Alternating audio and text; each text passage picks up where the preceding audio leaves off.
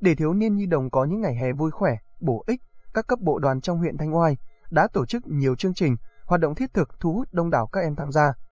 Trong đó trại hè truyền thống cũng là một trong những sân chơi được các em mong chờ mỗi dịp hè về. Những năm qua, huyện đoàn Thanh Oai luôn quan tâm, chỉ đạo triển khai có hiệu quả chương trình, công tác đội và phong trào thiếu nhi với nhiều nội dung hoạt động mang ý nghĩa thiết thực, rộng khắp trong các liên đội. Và sân chơi bổ ích cho các em thanh thiếu nhi trên địa bàn huyện trong dịp hè. Từ đó phát huy tinh thần sung kích, tình nguyện, sáng tạo của đoàn viên thanh thiếu nhi và rèn luyện kỹ năng tổ chức các hoạt động tập thể, kỹ năng xã hội cho đoàn viên thanh thiếu nhi trên địa bàn toàn huyện. Hôm nay, huyện đoàn, hội đồng đội, hội liên hiệp thanh niên huyện phối hợp với phòng giáo dục và đào tạo cùng hệ thống Anh ngữ Lê Hủa Edu tổ chức hội trại hè thanh thiếu nhi huyện Thanh Oai năm 2023.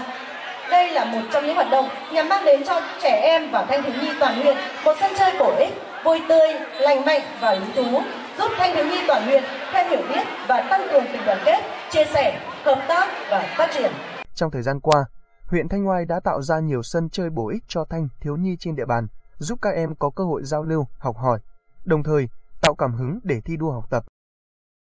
Trong thời gian qua, thực hiện sự chỉ đạo của Thành đoàn Hà Nội và Ban chỉ đạo hè huyện Thanh Oai, được sự quan tâm của cấp ủy chính quyền từ huyện tới cơ sở, sự ủng hộ về vật chất và các điều kiện khác của các tập thể cá nhân, các cấp bộ đoàn trên địa bàn toàn huyện đã triển khai nhiều hoạt động thiết thực, ý nghĩa dành cho thanh thiếu nhi trên địa bàn. Đặc biệt là trong thời gian đoàn viên thanh niên về sinh hoạt hè tại địa bàn dân cư, triển khai có hiệu quả các hoạt động của hệ thống sân chơi thiếu nhi, điểm vui chơi thanh thiếu nhi cấp xã, tập trung vào các hoạt động chủ yếu như mở các lớp năng khiếu, tập huấn các lớp phòng chống tai nạn thương tích, tai nạn đuối nước, tham gia các câu lạc bộ, các hội thi, các hoạt động văn hóa, văn nghệ, thể dục thể thao và các cuộc thi tìm hiểu, vân vân. Tiêu biểu có thể kể đến như chuỗi hoạt động tập huấn kỹ năng và phòng chống tai nạn thương tích cho thiếu nhi trên của huyện đoàn, hội đồng đội triển khai bằng hình thức livestream và kết nối trực tuyến đến 21 điểm cầu của các xã thị trấn. Đây là hoạt động sáng tạo, đáp ứng yêu cầu thực tiễn đặt ra về ứng dụng công nghệ số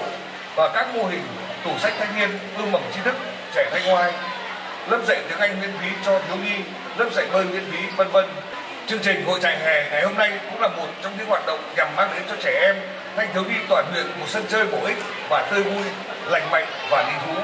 Tham gia trại hè, các đại biểu thiếu nhi được tham gia các hoạt động như thi cắm trại và trang trí trại đẹp, thi vẽ tranh, chơi các trò chơi tập thể, tem và thí nghiệm hóa học, các trò chơi dân gian, giao lưu văn nghệ. Ở phần thi cắm trại, các đơn vị đã làm nổi bật các vấn đề thời sự, thể hiện tinh thần yêu quê hương, đất nước. Với sự sáng tạo, các đoàn viên, thanh thiếu nhi đã tận dụng được những nguyên vật liệu sẵn có để làm nên hình ảnh hội trại đầy sức sống, thể hiện được sự trẻ trung, năng động nhưng vẫn giữ được những nét đẹp riêng của quê hương. Là một trong những thiếu nhi tham gia hội trại, em Lê Bảo Ngọc vui vẻ chia sẻ. Con đến đây có rất nhiều kiến thức. Con chơi trò những trò chơi ô ăn. Nhân dịp này, huyện Đoàn Thanh Oai đã trao tặng học bổng lớp tiếng Anh miễn phí hè năm 2023, tặng quà thiếu nhi có hoàn cảnh khó khăn và trao tặng học bổng em nuôi của đoàn tới các em học sinh trên địa bàn huyện. Hội trại hè truyền thống là sân chơi thiết thực, lành mạnh, thu hút đông đảo thanh thiếu nhi tham gia. Đây là một trong những hoạt động ý nghĩa, là dịp để các bạn đoàn viên, thanh thiếu nhi có cơ hội giao lưu, học hỏi, bồi đắp hành trang cuộc sống, tạo cảm hứng để thi đua học tập, đạt thành tích cao trong năm học mới.